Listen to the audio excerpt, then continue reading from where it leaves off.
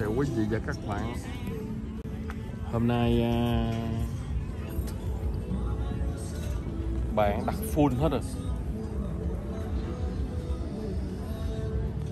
Phải ngồi bên mé bên đây. Hôm nay là bạn đã đặt à, full hết rồi, mé bên kia.